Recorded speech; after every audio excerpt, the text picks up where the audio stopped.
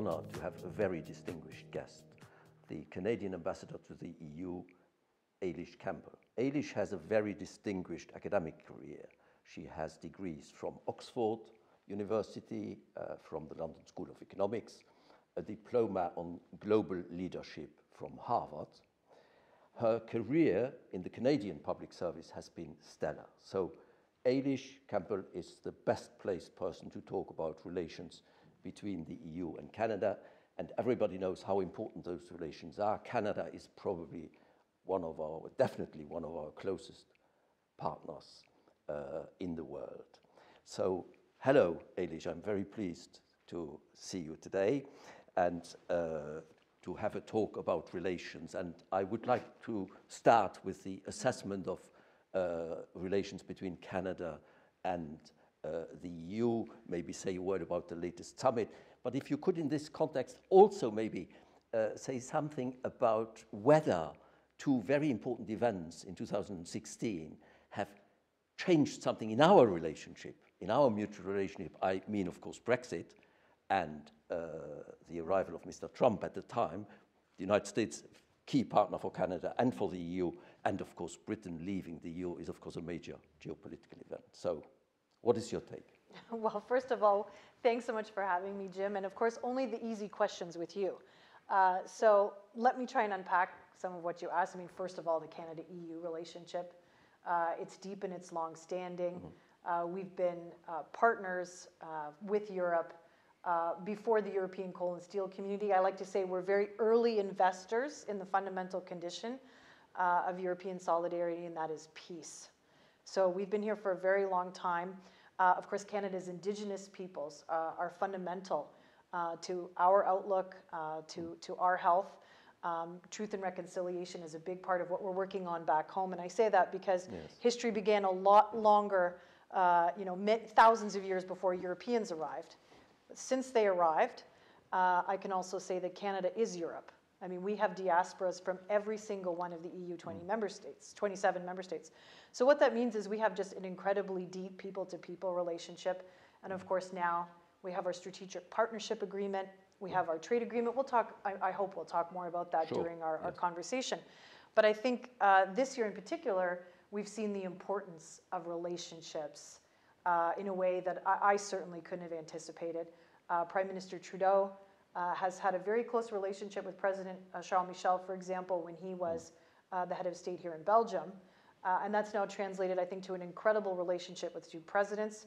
I say that because I hosted the prime minister. I was fortunate enough to have him do his, mm. his first visit in, in uh, I think, almost 18 months. He had not left Canada, was to the G7 summit, the NATO summit, and our Canada EU summit. So I think that speaks volumes about the relationship.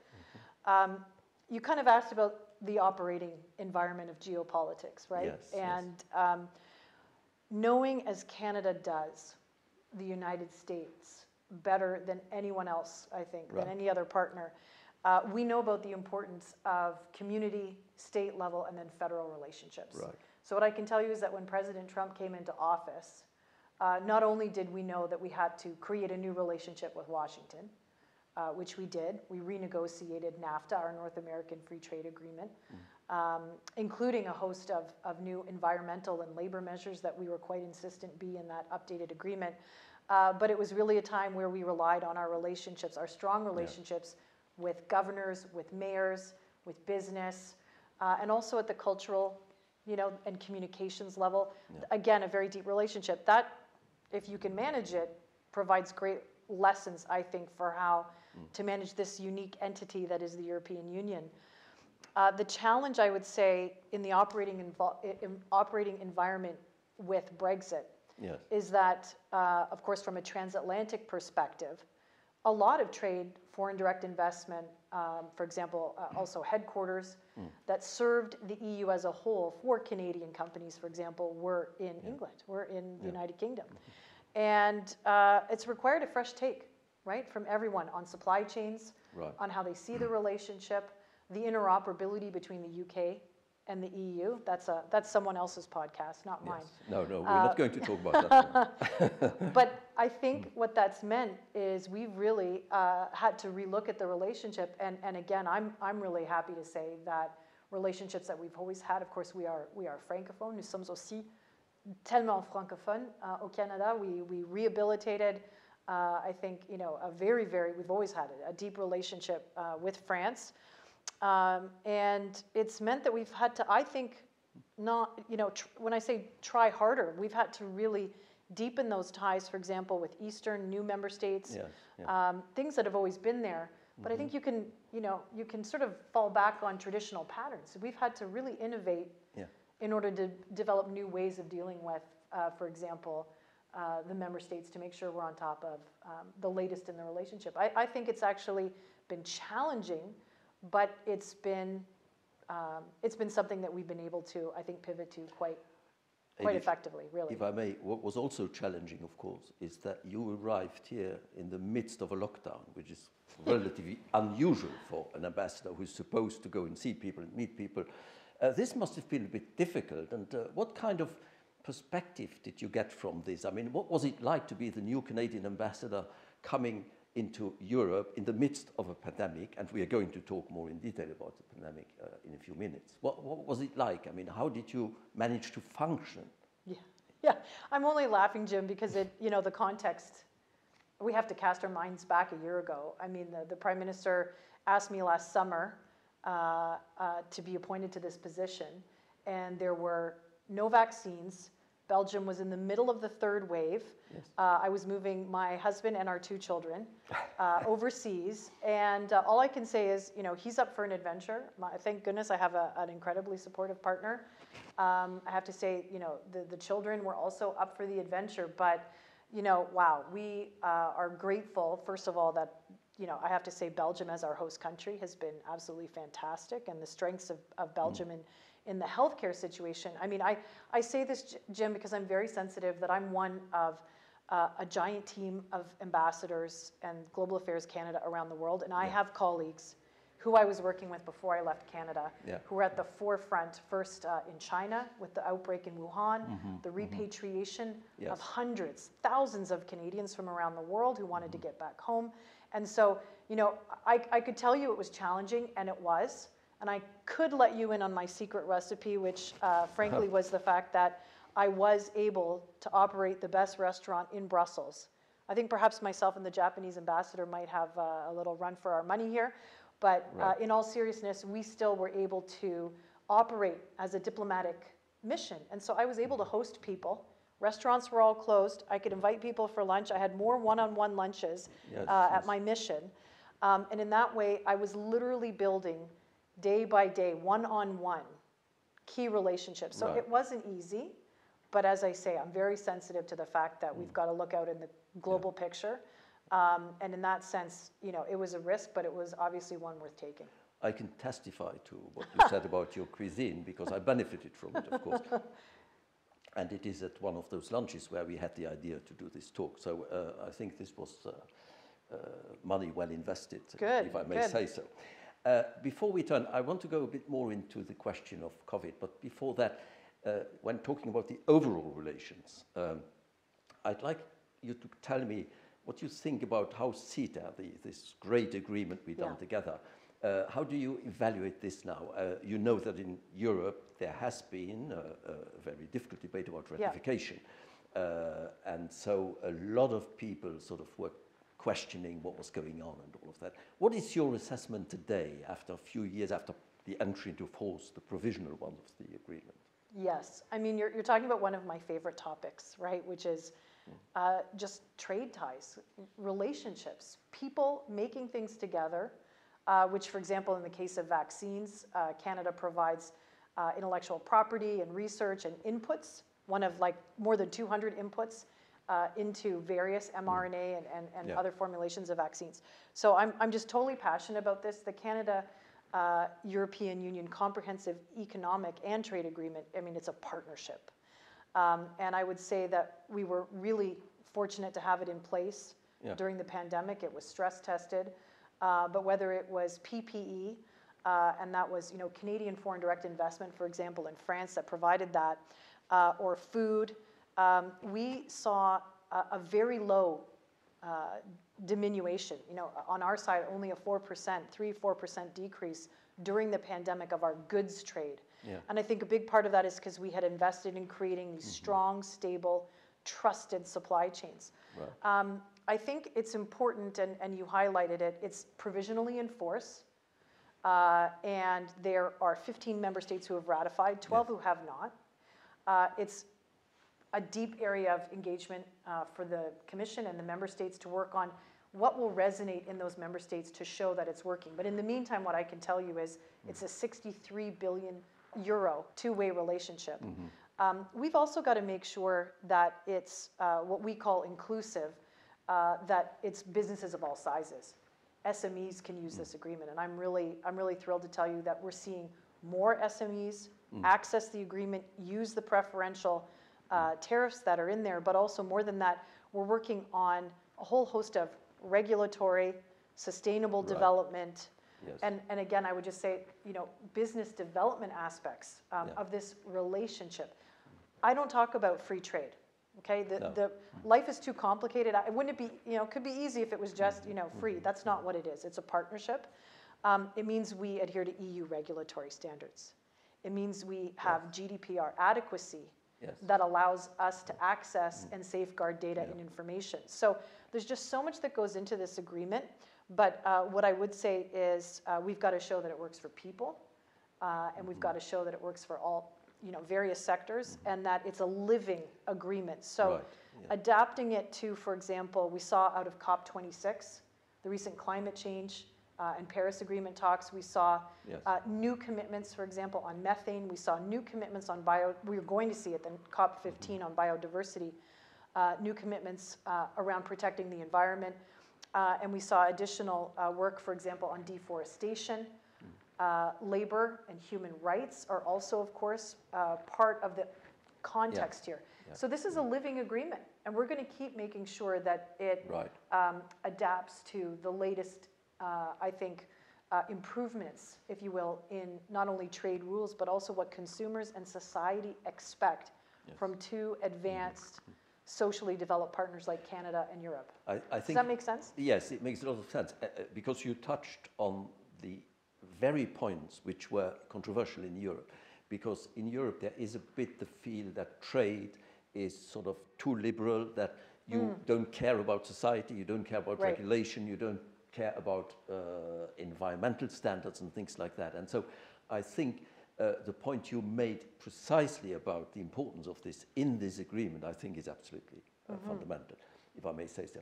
But let us turn to the pandemic now. First, uh, uh, we have our various experiences, and they are all difficult for everybody in the whole world. From the Canadian point of view, how did you handle this? What were the most uh, striking challenges you had to face, both nationally but also in relationship with foreign powers and partners? Yes, I mean, can you, can, can we cast our minds back and remember, uh, Canada had suffered from this um, uh, outbreak of SARS, this acute respiratory syndrome. Yes, So we had experience from SARS, and I remember, I distinctly remember, you know, the hypothesis that we were going to be able to do contact tracing and control the entry of COVID Yes. right, in, into our countries. Because when we first learned about this disease, you know, we, we thought it was sort of happening elsewhere.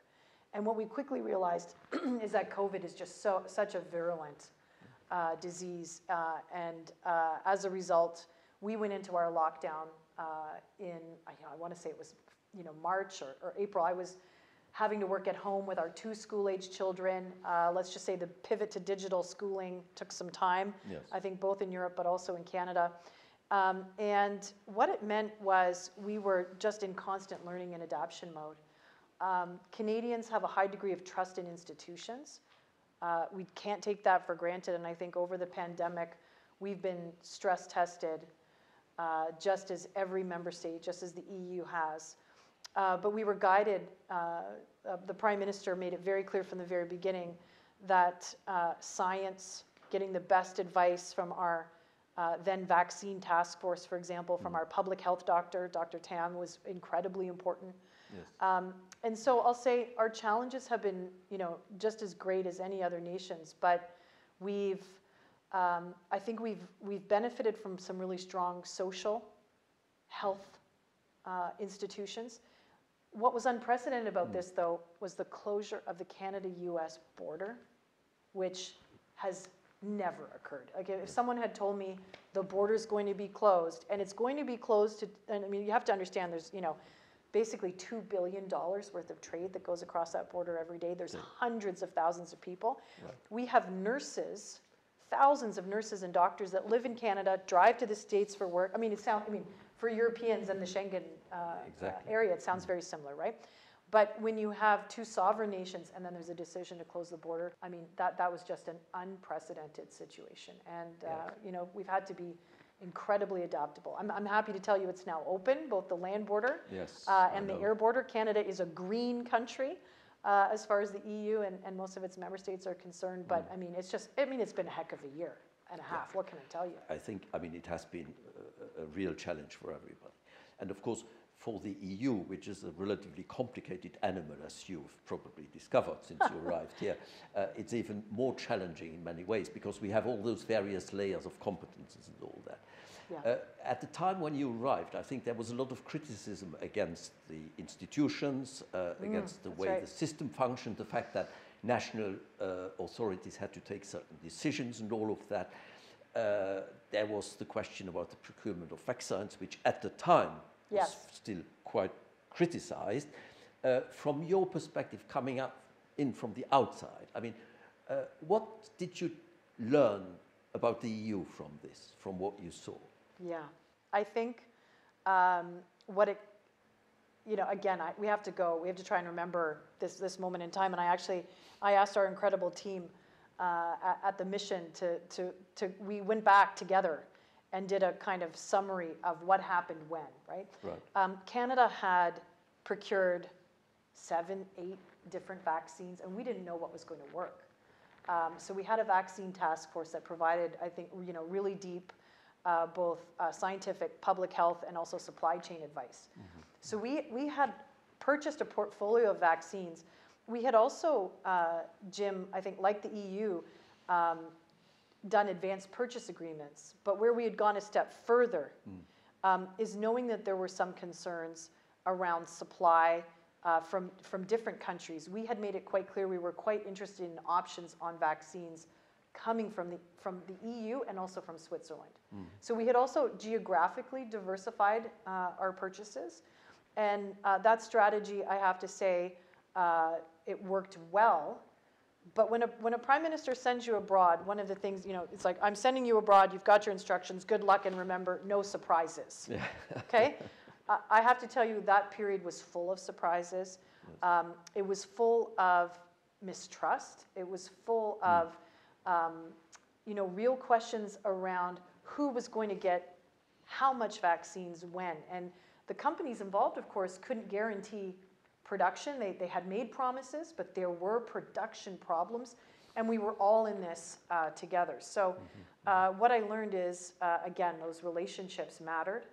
Uh, there was a lot of times where the politics were running further ahead of the institutions themselves. And so, what that meant is that being here in Brussels, Yeah. it was also invaluable to have, uh, we have an incredible team of ambassadors across the EU, 27 member states.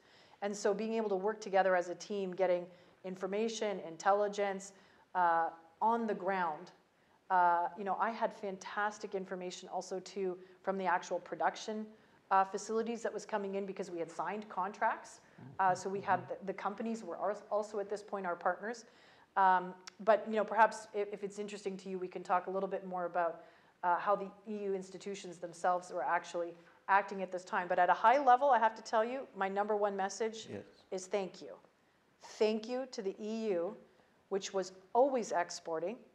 And at the end of the day, the macro number is 50% of production in the EU Correct. was exported. So, you know, if this is open strategic autonomy, uh, I think you passed the first test with flying colors, and we really appreciate it.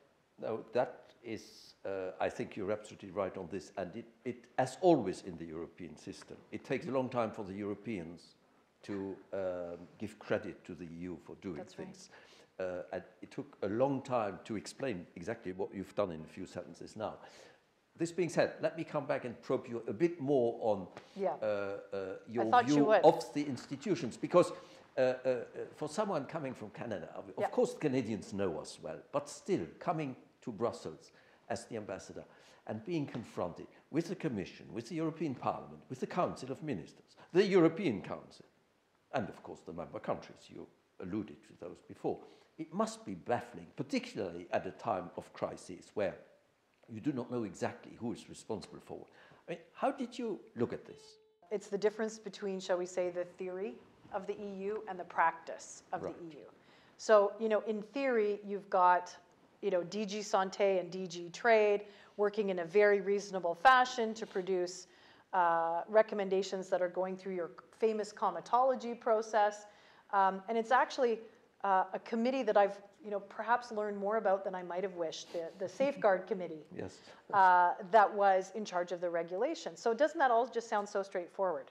Well, the reality was that capitals, right, the EU member states, the leaders themselves were under such pressure Exactly. uh, from the European public, from citizens, quite rightly asking, you know, where are the vaccines coming from? Where are they coming from? And so uh, there was also, I have to say, um, the other piece of context that I think is really important, and I think this is going to be important for institutional memory, um, is that there were really important commercial relationships that had already been, you know, settled uh, by investors in the EU. Um, I'm thinking uh, of here, for example, of the partnership between BioNTech and Pfizer, uh, but also the supply chain uh, for Moderna, which originates in Switzerland and then comes to Spain. So even things that might seem straightforward to the EU, like, you know, it's all made here, that's not the case. Testing happens in the US, inputs are coming from the UK, inputs are coming from Canada uh, and elsewhere. Um, and so nothing's as kind of straightforward as you might think.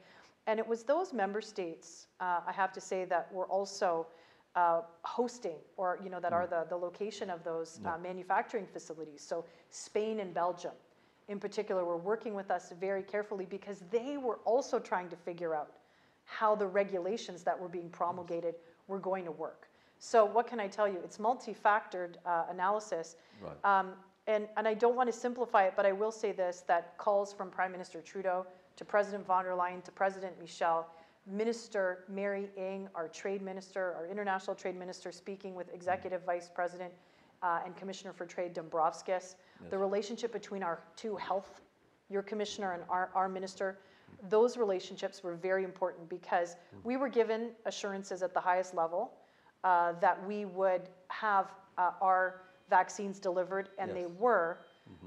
But there were some heart-stopping uh, moments while even the internal machinery Yes. was trying to figure itself out. And now, I, you know, maybe I can end it here and we'll, we'll see if that satisfies you, Jim. But I would say I'm really encouraging the EU member states and the institutions to look at the imperative of transparency, right? Knowing the supply chains, where the production was happening. Uh, I commend, for example, Commissioner Thierry Breton when he sort of said, you know, I'm going to go out there and start visiting production facilities and start highlighting what's working and where we can expand production. I thought that was an incredibly important turning point Yes. because you'll recall the conversation had been a lot about AstraZeneca to that point. And I said, this is great that they're focusing now on expanding the capacity that's here, which, which is incredible, right? I mean, again, the EU should be thrilled to be the home of these R&D and production powerhouses. Um, so that was a real turning point. Uh, and I would just say that transparency in production piece is so important and, and focusing on the export authorization piece, which hopefully will now come to an end at the end of December. You know, separating out, I'll call it the trust building Yeah. from the unnecessary, um, you know, sword of Damocles that can hang over you if you're if you're waiting to see whether you're going to get an approval or not. Doing away with that piece, I think, and moving on to a more normal uh, transparency set of exercises that builds confidence. That's, I think, uh, we're at another key moment. Yes, I, I think, I mean, confidence is absolutely key for the union to function. Right. And you're right to talk about transparency because I think it's the best reply in many ways to criticism against the EU. It's actually to say how things are working, how they're supposed to work, uh, why they are sometimes a bit complicated.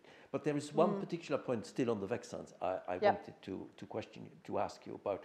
Uh, this is our responsibility as rich countries. You are rich, the EU is rich, uh, vis-à-vis third countries. It's the whole question of getting vaccines to Africa and to other uh, uh, parts of the world who have trouble getting vaccines.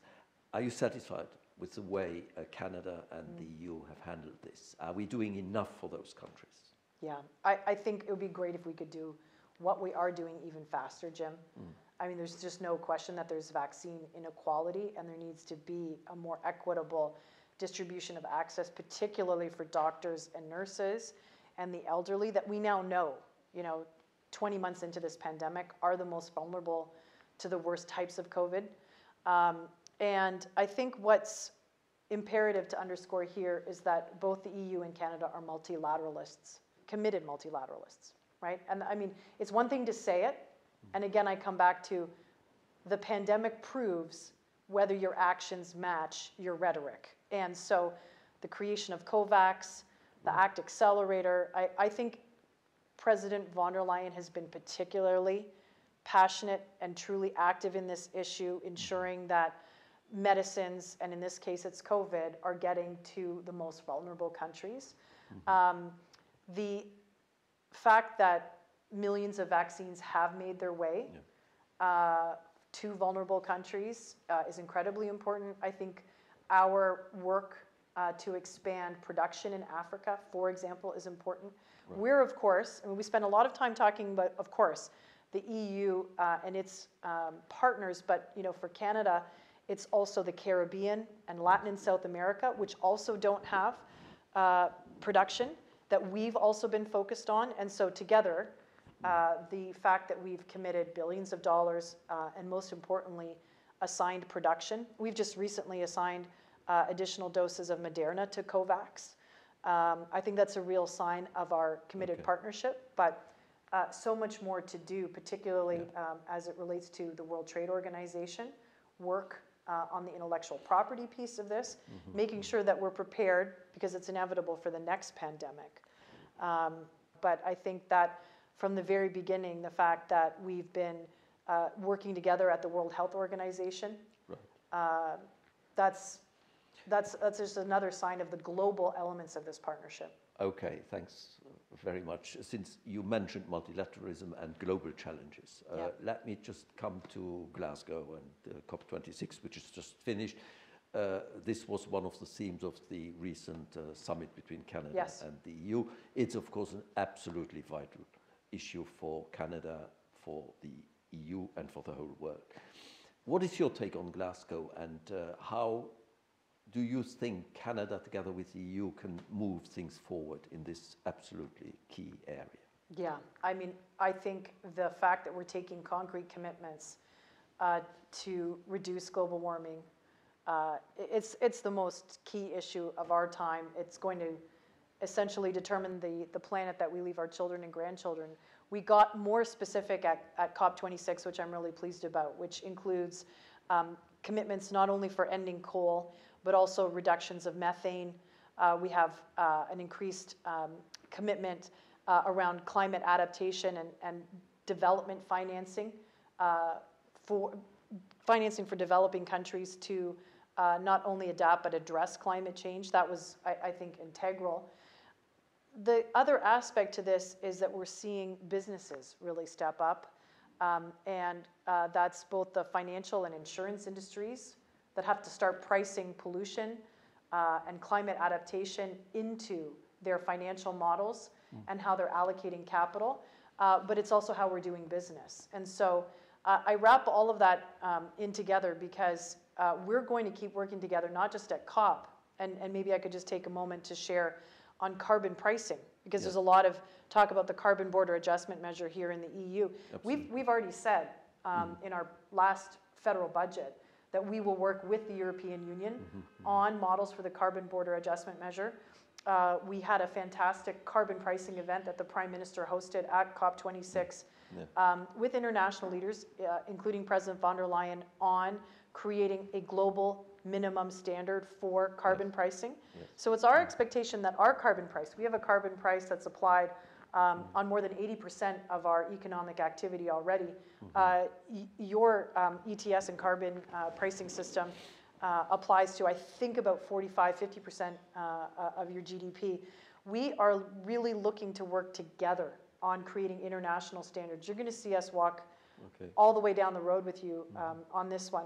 The recognition of our carbon pricing, you know, a- as part of your regime, uh, because as I say, it's, it's clear to me that Europe is, Yeah. is totally committed on this issue. Absolutely. And so our interest is then working at a technical level, it's working, you know, at a, at a commercial level to, to underscore how we can integrate this into businesses. It's on clean technologies. You know, it's just so multifaceted. Environment is going to be mainstreamed into every single decision that we take.